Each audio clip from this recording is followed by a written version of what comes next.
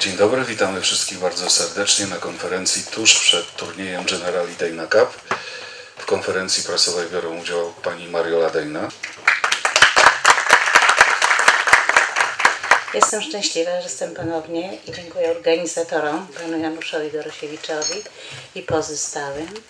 Jestem miło zaskoczona, że mogę e, dream mego męża kontynuować i jestem szczęśliwa.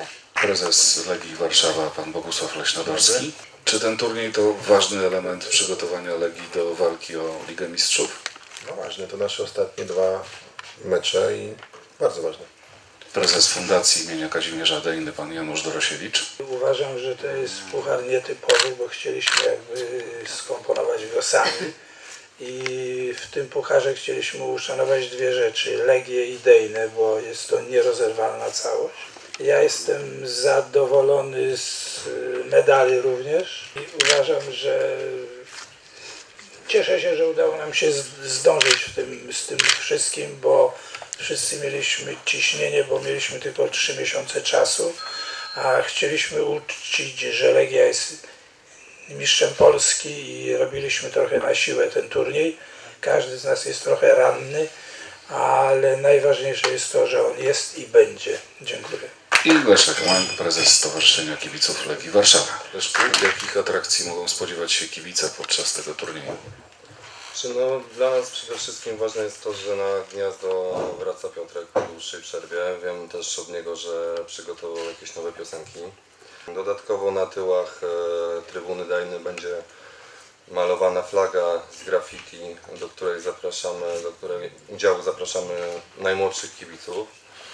No i też wszyscy organizatorzy przygotowali liczne inne atrakcje podczas tych dwóch dni turnieju.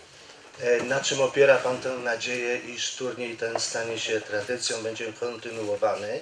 Po pierwsze, Legia to historia polskiej piłki. Dejna jest historią Legii.